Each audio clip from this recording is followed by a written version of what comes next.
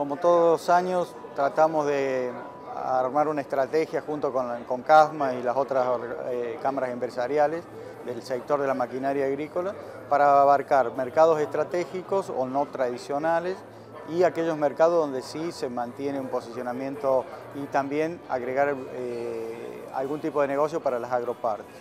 En eso estuvimos en este año visitas de Rusia, de Belarus, de Australia y de Sudáfrica como mercados de, mayor estrategia, ¿no? a futuro o mediano plazo. Y de Latinoamérica, Colombia fuertemente, y después Ecuador, Bolivia, Uruguay y Perú, eh, eh, completando la oferta latinoamericana. Es muy reconocido eh, la maquinaria agrícola específicamente, todo lo relacionado con el proceso y el sistema de siembra directa, todo lo que es de siembra de precisión y hoy eh, empieza a tener su peso la georreferenciación y todos los desarrollos en esos sistemas. ¿no? Por lo tanto, creo que el sector de Argentina, de la maquinaria agrícola, en eso tiene su reconocimiento a nivel mundial. También empezamos a sumar a la ronda de negocio el sector lácteo, el equipamiento para el sector lácteo y eso también eh, hay mucho interés, principalmente de Latinoamérica, de Ecuador, de Perú y de Bolivia, como, como algo adicional, ¿no? que va más allá de, la maquinaria agrícola.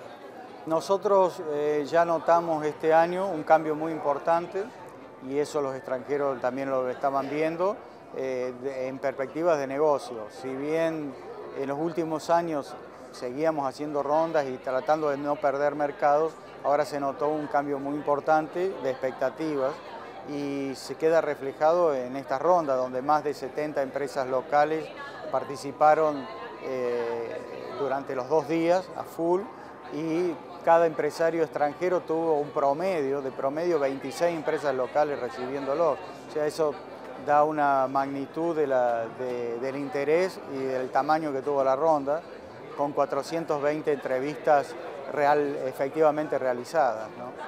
Maximizamos los esfuerzos económicos que cuesta esta organización para trabajar juntamente con el INTA y otros, eh, y, también con la parte nuestra de promoción comercial y la Cancillería Argentina para reforzar mercados que nos resultan de importancia. Por eso el INTA en el primer día de actividad dio las charlas y conferencias explicando los beneficios de la producción argentina y también con demostraciones a campo. Paralelamente estuvieron visitándonos los embajadores argentinos en Sudáfrica y en Mozambique, con quienes estamos tratando de armar una estrategia para esos mercados africanos.